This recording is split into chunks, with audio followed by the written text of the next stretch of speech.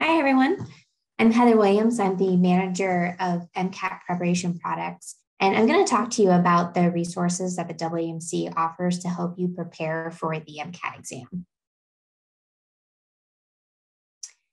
And before we begin, I want to point out that you can submit a question anytime using the Q&A box. I know there's a, both a chat and a Q&A box, um, but I think we I think we wanted to try and use the Q&A so that we can kind of keep track of the questions that are coming in.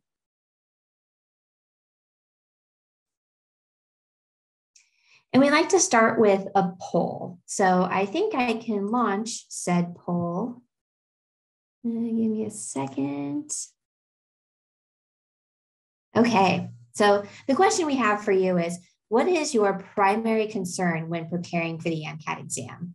So take a few minutes, take like 30 seconds, and, and then we'll end the poll.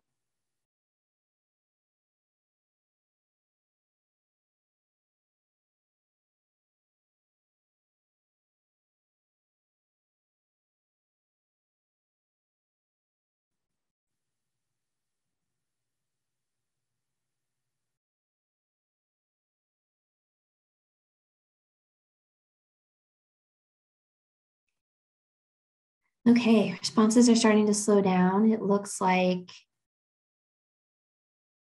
the most responses are for balancing my time, sticking to my study plan. And yeah, we get that a lot, and followed by the amount of concepts and skills to be learned. Uh, and I want to assure you that we do cover all of these topics throughout the presentation. Oh, actually, I didn't share results with you. I'm sorry. Now you can see the results. First, in the lead is balancing your time and sticking to your study plan.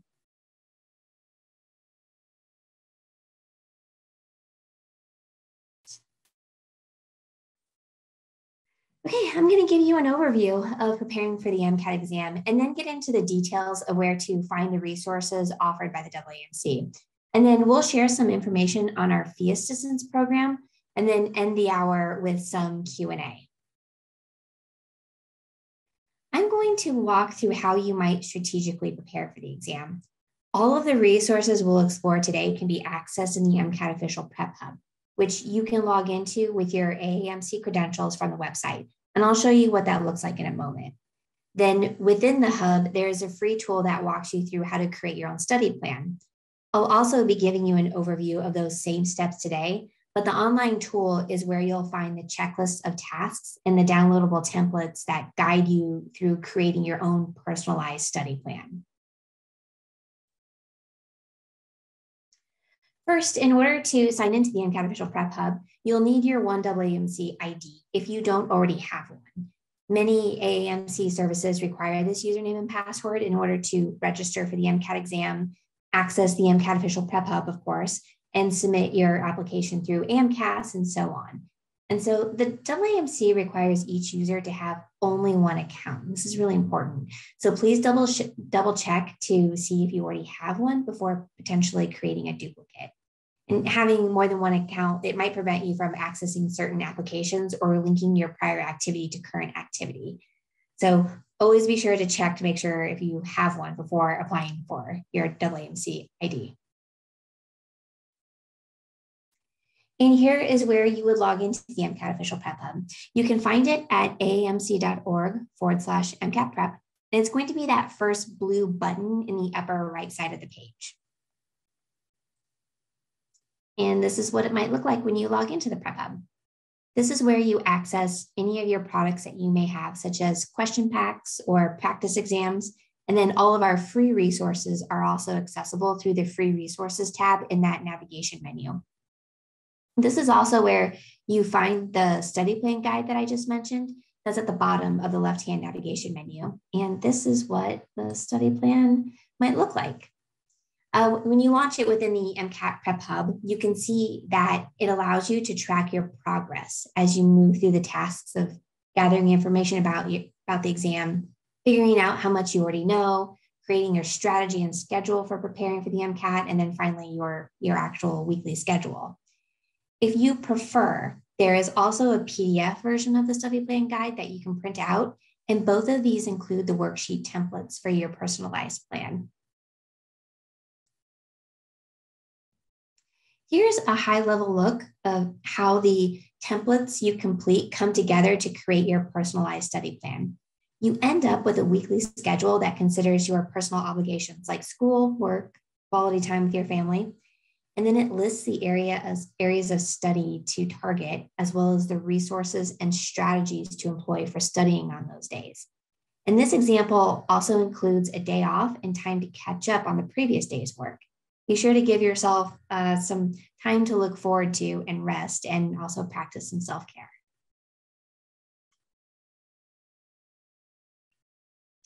The first step to preparing for the MCAT exam is to gather some basic information about the exam. These tasks include meeting with an advisor, reviewing testimonials by other examinees, understanding your own timeline, and reviewing the official guide to the MCAT exam or information on our website. We always encourage you to work with an advisor throughout the process of preparing for the MCAT and applying for medical school. For those who don't have an advisor, the National Association of Advisors for the Health Professions has members who volunteer to be advisors for individuals with no access to their own. Advisors not only help you through the entire application process, they can also help facilitate mock MCAT exams. You can submit a request to be partnered with an advisor on our web on their website, but I want to emphasize that they are volunteers. So please be patient if you don't hear back from them right away. Your peers are a great source of information. So we've interviewed some examinees who have overcome obstacles of their in their own MCAT preparation if you read through their study methods and tips in their profiles, you might find some of their experiences relatable. And we've also updated some of their profiles to describe where they're at in their own medical education. When is the right time to take the MCAT exam? The answer to that is when you are confident that you will be ready. We have downloadable calendars for the testing year on our website, along with the score release dates, but here are a few questions to think about to help you determine when you might be ready. First, when do you want to apply to medical school? Many examinees take their MCAT exam in the same year that they are also applying to medical school. For example, if you want to go to med school in 2023, consider taking the exam in 2022. Second, do you feel comfortable with the content? The MCAT exam doesn't have any required course you need to take before registering. But if you feel you need more time to prepare based on what is tested on the exam, consider a date later in the testing year. And I want to make several important points about the timing of your exam and why it's critical that you take the exam when you feel ready. One is that there are a limited number of times that you can take the exam. In a single testing year, you can take it three times. Over two consecutive testing years, you can only take it four times. And in a lifetime, you are permitted to take the exam a maximum of seven times. And my second point is that medical schools do receive all exam scores, not just your most recent or your chosen score. If you choose to void your exam or you don't show up on test day, medical schools don't see a record of those exams, but voids and no shows do count toward your testing limits over the course of the testing year and your lifetime limit.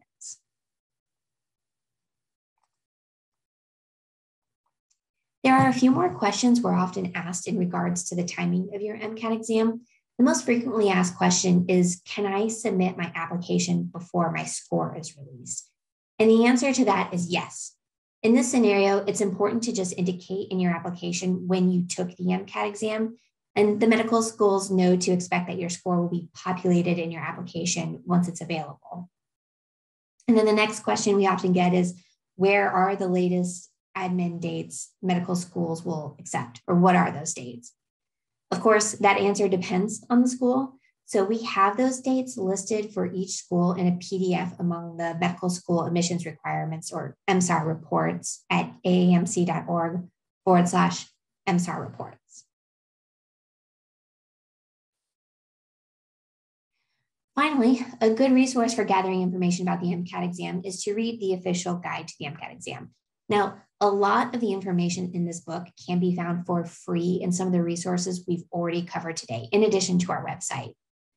the information on how the exam is scored, for example, is on our site and it's in the MCAT Essentials PDF. However, however, many students still find it useful to have all that information packaged in a printed book.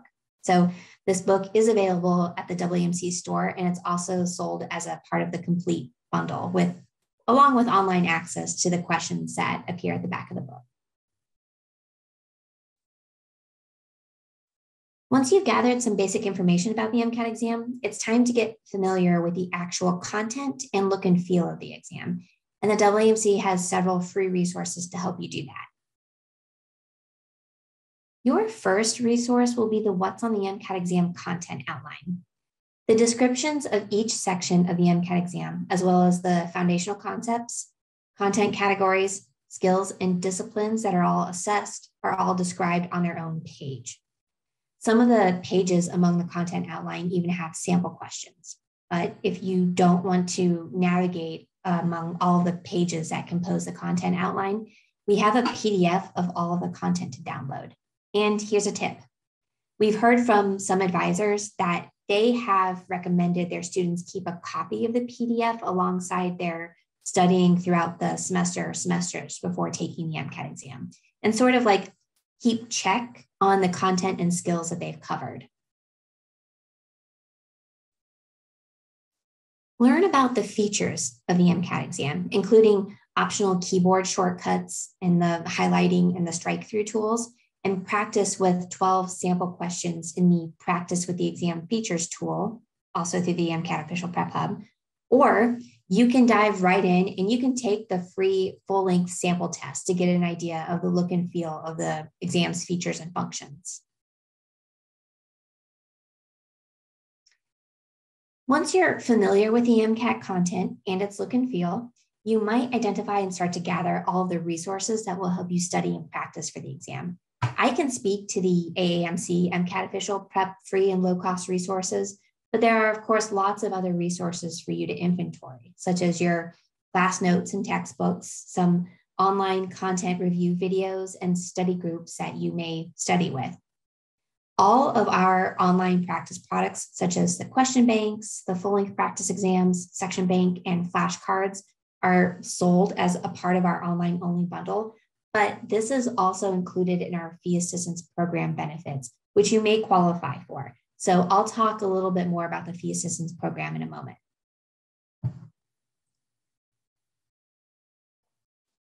We have these two different types of roadmaps, which are these free downloadable PDFs found on our site and in the MCAT Prep Hub. The first maps content assessed on the MCAT to common textbooks. So if you have yet to take courses in biochemistry or introductory psychology and sociology, but you want to start studying the MCAT content from those subjects, we have these textbook roadmaps that tell you where to find the concepts assessed on the MCAT among common textbooks in these subjects. And then we've got this second type of roadmap, which maps the skills assessed in the critical analysis and reasoning skills section of the MCAT exam to specific questions in the Khan Academy MCAT collection. Speaking of the Khan Academy, it's probably the most popular free resource for studying MCAT content. There are over 1,100 videos and 3,000 practice questions that span all four sections of, sections of the MCAT exam. And so this collection was created and hosted by Khan Academy with the funding and support from the AAMC and the Robert Wood Johnson Foundation.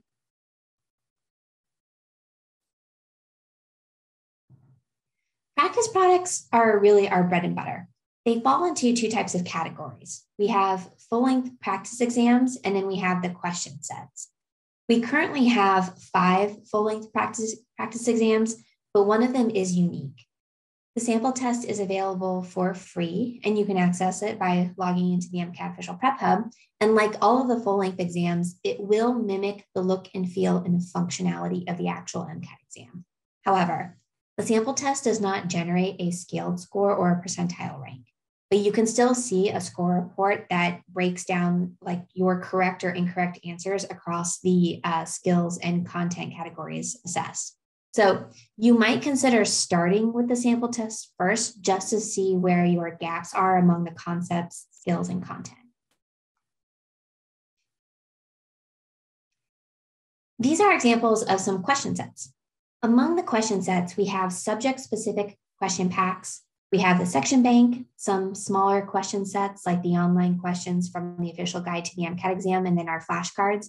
And most recently, we launched a new product called the CARS Diagnostic Tool. And here's a sneak peek at the CARS Diagnostic Tool and, and what it looks like.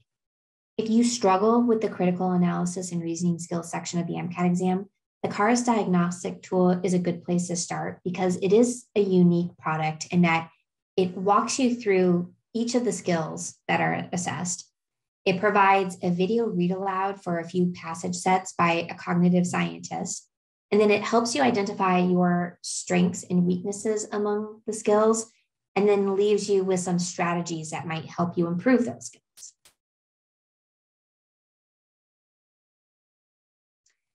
Once you've gathered all of your resources for studying, consider a study and practice cycle, which is the idea that preparing for taking and reviewing feedback or errors from questions or tests leads to learning. And I know this is really hard to read, it's a lot of information on one slide, but here is what the cycle might look like. First, you might start by reviewing some of the topics listed on the What's on the MCAT exam content outline, or by reviewing content in your class notes, or maybe even the Khan Academy MCAT collection. Then you complete some practice questions, which should give you an idea of where your strengths and weaknesses are. Then you learn from your errors by explaining why choices are correct or incorrect. You review those concepts, summarize that content, and then attempt answering questions aligned to those topics again to see if you've improved. The idea then is that you repeat this process until you've honed in on what you do or do not know and slowly fill in those gaps in your knowledge and skills. And once you feel ready to take the MCAT exam, there are some things that you might consider. You can recreate exam conditions with a full length practice exam. And when there aren't social distancing or isolation guidelines due to a pandemic, we often suggest working with an advisor to create a mock exam environment. And we have uh, resources on our website that serve as checklists for those mock exams.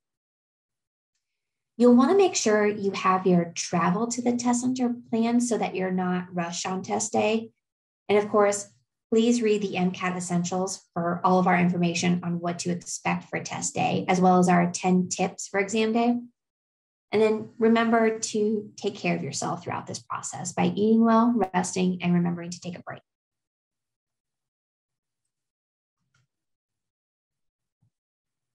And finally, I want to talk a little bit about the AAMC Fee Assistance, Fee Assistance Program, which can greatly reduce the fees related to taking and preparing for the MCAT and your medical school applications. The benefits of the fee assistance program include reduced MCAT registration fees, access to the medical school admissions requirements database or MSAR, waivers for up to 20 medical school designations through AMCAS, and of course, the MCAT official prep online only bundle, which includes all of our online products, question banks, CARS diagnostic tool, full length exams. You can be awarded the fee assistance program uh, award multiple times, but the MCAT prep benefits are a once in a lifetime benefit. So once you receive, elect to receive the MCAT prep benefits, they will expire um, at the same time as your fee assistance program award. The fee assistance program expanded the eligibility requirements for 2022. You are eligible for the fee assistance program if you have a permanent US address. And the award approval is tied directly to the US Department of Health and Human Services poverty level guidelines. And unlike some federally funded aid programs, the fee assistance program requires your parents' financial information if you're under the age of 26 at the time of your application submission. So, for more information on the eligibility requirements, make sure you go to aamc.org forward slash FAP.